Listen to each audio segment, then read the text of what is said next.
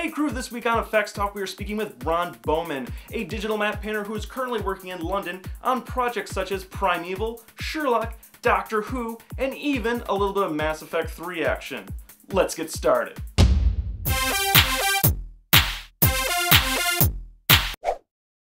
Ron Bowman, Hey, how's it going? the fantastic matte painter from right now working in London for The Mill, is that correct? The Mill, yes. Yes. A lot of people are probably excited right now about the Mass Effect 3 boom. Oh, okay. What was like what was your involvement exactly for that project? I did matte painting for the um, the big uh, commercial that they were gonna run during the Super Bowl.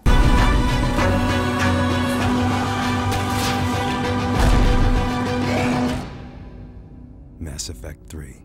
Rated M for mature. I'm actually very interested in hearing about the mill. For people in general, what is what is the mill? What is a post house? The Mill um, is one of the more respected VFX houses in London. They are one of the top names in commercials, both in the US and in uh, the UK. As far as television goes, we work on a lot of the iconic shows uh, in Britain Doctor Who, Torchwood, Primeval. Merlin, and every now and then we do some film stuff. We just recently did Doctor Dread. How could someone from the United States with like the kind of job market that we have that is a post work editor go overseas to like London? How do they apply or how do they get their foot in the door? Okay, well, let's see. Back in 2001, um, let's see, I went to San Jose State University where I got a bachelor's degree in illustration and animation. Um, back in 2001, we had a trip to London. They do uh, they did trips every year or every other year. I took a trip to London and we went for 10 days and we checked out the VFX houses here. Basically, I was really inspired, uh, and one of the things was uh, being a beginner back in the Bay Area.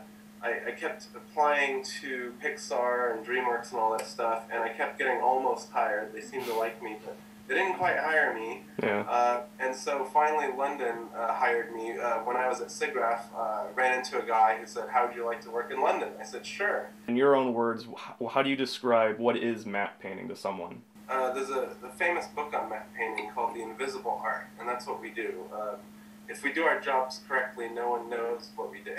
you know what I mean? Basically, we recreate reality. When there's a big scene that it's just not practical to create it in 3D and texture it, create a whole environment, you know, we um, create that environment um, in a way that's much more economical. That's the, the main thrust of matte painting is just creating backgrounds, creating cityscapes, creating forests, anything you need that would be really difficult to actually create piece by piece. We just paint the thing. What are your go to programs and tools that you use when you're matte painting? Uh, the main tool is Photoshop. At the mill, I do a lot of 3D. Most people use Maya. However, at the mill, I happen to use Cinema 4D. But mainly, a 3D program and Photoshop is all we need. So, How long does it take you on average to take a matte painting from start to finish?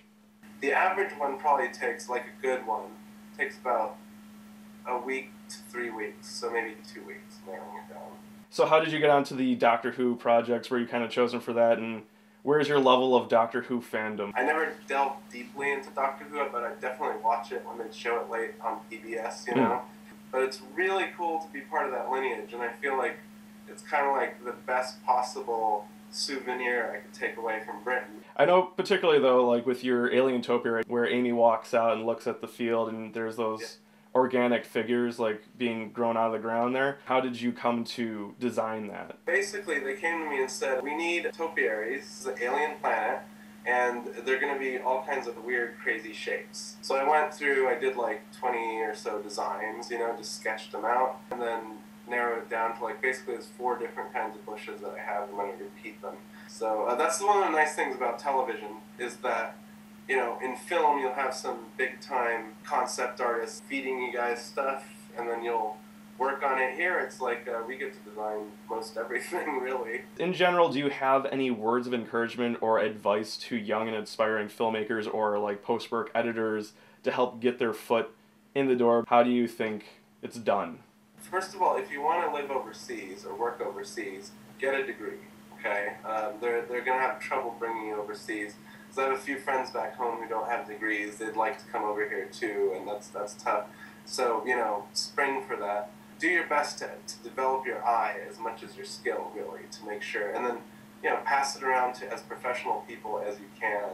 to get judgment on it. Maybe like uh, you know CG talk or something like that. And uh, so networking as much as you can. It's tough to break in. That's the toughest thing, really. Uh, if you have your skill and your eye, then you just have to be seen by as many people as you can be seen by.